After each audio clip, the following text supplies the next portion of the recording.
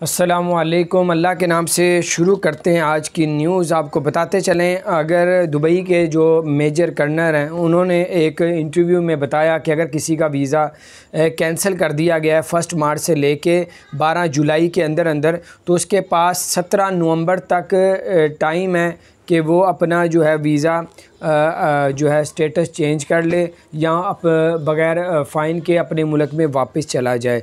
तो ये कुछ, और मैंने सुना है कि वीज़ा स्टेटस चेंज करने के लिए कुछ, फिर भी आपको थोड़ा बहुत फ़ाइन देना पड़ेगा। और बारह अगस्त के बाद से लेके अब तक जितना भी जुर्माना है वो आपको पे करना पड़ेगा।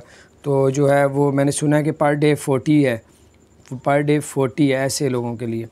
तो बारह, फोर्टी या हंड्रेड जो भी है तो वो आप पता कर लीजिएगा। लेकिन उन्होंने ये जुर्माने का नहीं बताया। उन्होंने कहा कि अगर आपका पहले मार्च से लेके सत्रह बारह जुलाई के अंदर अंदर अगर आप लोगों का वीज़ा कैंसिल कर दिया गया है तो आपके पास जो है वो सत्रह नवंबर तक टाइम है। उसके अंदर अंदर आप लोग अपने वीज़े का स्टेटस चेंज कर दें या फिर हमारे मुल्क को छोड़ के चले जाएँ।